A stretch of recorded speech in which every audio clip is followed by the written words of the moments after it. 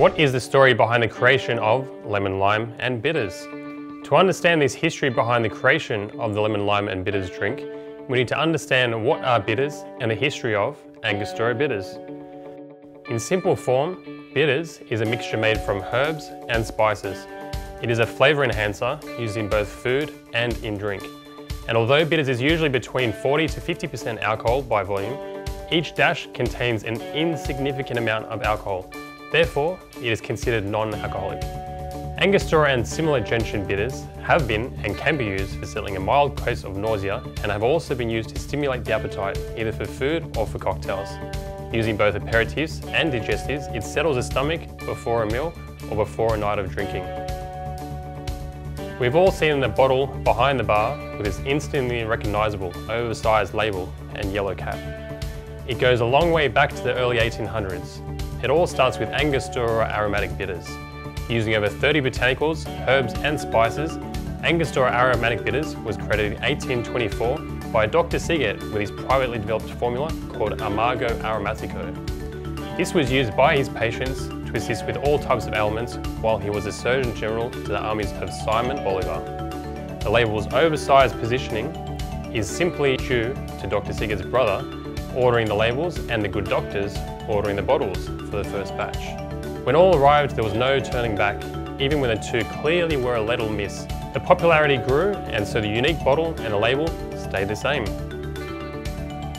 Angostura bitters is the most popular and most widely distributed bitters in the world, and for good reason. Angostura bitters is a high quality aromatic bitters that has a distinct, complex and intense flavour profile that no one has been able to replicate. Angostura bitters is also 100% natural, using no artificial colours or additives to create the iconic product. There's over 190 years of production knowledge and history with Angostura. So what about their lemon lime and bitters? How did this iconic drink come to be in our marketplace? To understand the history of a lemon lime and bitters drink, we need to go back to the early 1800s. Angostura bitters, with its easily recognisable label, was sold to sailors in the region and soon found its way to England where it came to be used in a number of cocktails, following its medicinal use by the Royal Navy in a drink called pink gin.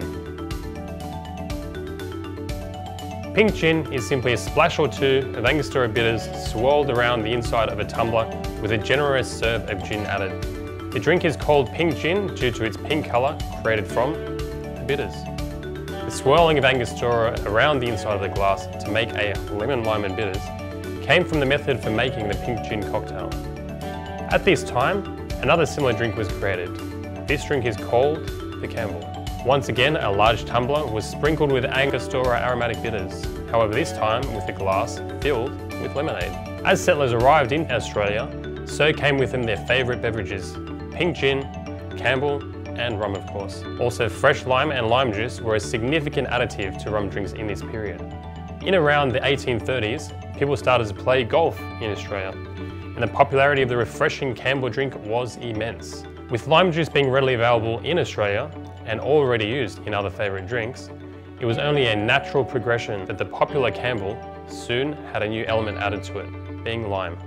It's understood that with the Australian heat, golfers dropped the rum and just asked for a lemon, lime and bitters. As such, the Angostura lemon, lime and bitters drink was created. How to make a perfect lemon, lime and bitters for your venue. There are essentially three ways in today's marketplace that venues are making lemon, lime and bitters. Venues usually adapt a method based on the time required to turn over drinks in each of their bars at that time. We call the three methods the quick service method for venues that have to turn over the drinks at a very fast pace, the traditional method for venues that have that little more time to add to the experience of the patron, and the muddled method for the venues who like to drive an upmarket culture in their venue. Many people enjoy the 100 million Angostura lemon, lime and bitters served each year in Australia. To truly make the original lemon lime and bitters, you need to use Angostura aromatic bitters. It's an Aussie icon. Enjoy!